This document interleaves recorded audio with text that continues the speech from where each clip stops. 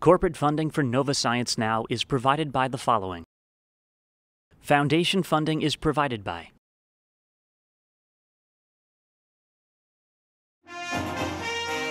Welcome back.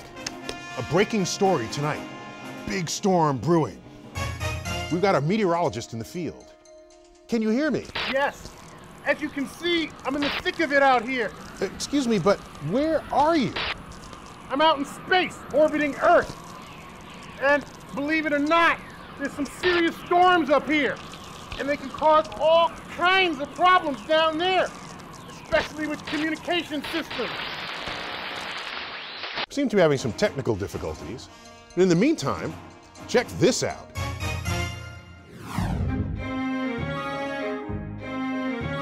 Anyone who has seen the Aurora Borealis, or Northern Lights, will tell you that one of nature's most spectacular performances.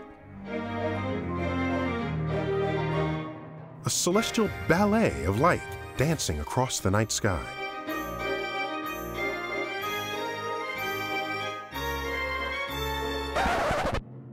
But it turns out there's much more to this dazzling display than meets the eye.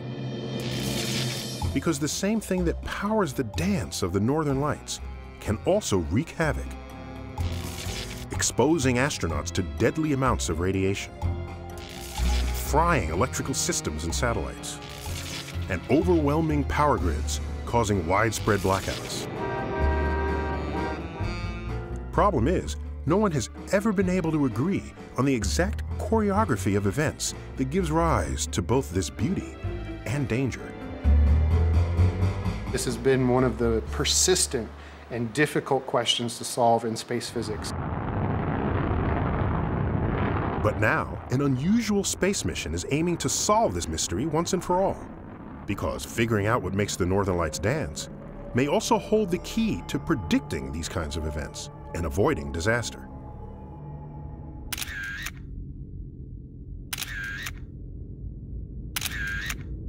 The Northern Lights take place more than 60 miles above Earth's surface. But they're not caused by weather on Earth. They're caused by something much less familiar, called space weather. Now, some of you may be thinking, space weather? Can't possibly rain or snow in space. I mean, you don't see astronauts shoveling out the space station, do you? Well, turns out space has its own special kind of weather, thanks to that big ball of glowing gas we call the sun. Every day, the sun spews out a million tons of electrically charged particles, which race away at up to 300 miles per second, forming what's known as the solar wind. Most of these particles are deflected by Earth's magnetic field, the protective shield that envelops our planet. But some sneak through and eventually collide with air molecules. When they hit oxygen, you get a red or a green glow. Nitrogen, a blue glow, creating a steady ring of lights around the north and south magnetic poles. But sometimes, the whole process goes berserk. Huge amounts of energy from the solar wind build up in Earth's magnetic field and then are released in a sudden explosion called a substorm. And you can tell when that happens because the northern lights start to dance. So the eruption of the aurora really corresponds to an eruption of a substorm, an energy release out in space. But where do these violent storms begin? To find out, a team has launched a mission called Themis, consisting of five identical satellites. Wait a minute, five satellites? Isn't that overkill? Well, to see why they needed that many, think of a tsunami. A single buoy in the ocean can tell you if a tsunami has taken place. But if you want to figure out which way the wave is moving and how fast, you need multiple buoys. And it's the same with substorms, except instead of buoys in the ocean, the Themis mission is using satellites. The goal of the mission is to figure out exactly where substorms start. And once every four days, the satellites enter the region of space where substorms occur to detect if they erupt near Earth or farther out in the magnetic field. The Themis mission is operated at the University of California at Berkeley. What am I looking at? Now you can see. Uh, I see the Earth in the middle. That's right, and the uh, the five satellite orbits uh, off to the right. This covers four days worth of orbit tracks. And it's very clear when they all line up. Exactly. Themis is named for the Greek goddess of justice, that blindfolded lady that holds the scales on courthouses. And just as the goddess weighed competing explanations to determine the truth, the Themis mission will try to discover the truth about substorms. The evidence will be gathered by huge antennas on each satellite.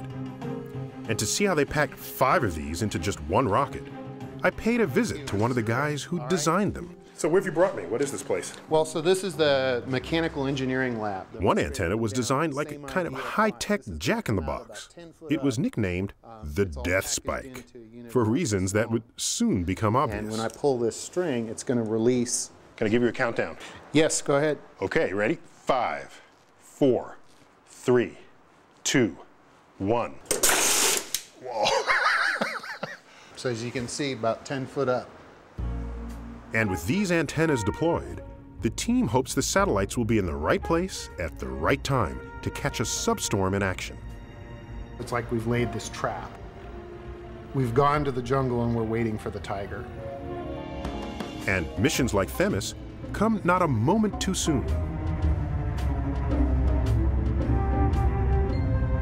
The Sun works on an 11-year cycle, its activity level rising and falling with the number of magnetic disturbances called sunspots visible on the surface. Over the years, people have tried to link the sunspot cycle to everything from skirt lengths to stock prices. But one thing we know it does relate to is space weather. And right now we're entering a new solar cycle, which will peak between 2011 and 2012. When that happens, the first to know about it will be the nation's Space Weather Prediction Center in Boulder, Colorado. Here, a special breed of weathermen keep their eyes on the sun 24 7. Solar terrestrial indices for 20. Drawing on observations, data from satellites, experience, and a strong dose of intuition, they issue alerts and warnings, as well as a daily space weather forecast. No space weather storms are expected for the next 24 hours. So, who needs a space weather forecast? Well, NASA for one. And everyone from utility companies to satellite operators would like even longer range forecasts, like we have for weather on Earth. But that's a tall order. Space weather is much more difficult to predict than terrestrial weather. First of all, the volume of space between us and the sun is 93 million miles cubed in size. It's huge. To get a handle on such an enormous volume, space physicists just up the road from the Prediction Center are trying to build computer models to forecast space weather. The results look like this. A simulation predicting how hard the solar wind's blowing, the direction of the magnetic field, and the appearance of the northern lights. But today, these models can only make forecasts about an hour in advance. We are, in essence, back at where weather forecasting was in the 1950s. We're just kind of getting started into this system and making progress. But it's a kind of exciting time to be in this because you're at the beginning of a, of a new capability and providing these tools. Meanwhile, to gather information to improve these tools, the Themis satellites continue lining up every four days in Earth's magnetic field, lying in wait for substorms. It'd be fun to be on one of these satellites as you sort of come into alignment. And watch one of these uh, auroras break up at the same No, I, time. no, I don't want to be there for that. it takes two days for all the data from the outermost satellite to download to Earth. And it will take months or even years to analyze. But in previous alignments, the team's already been lucky, snaring several substorms.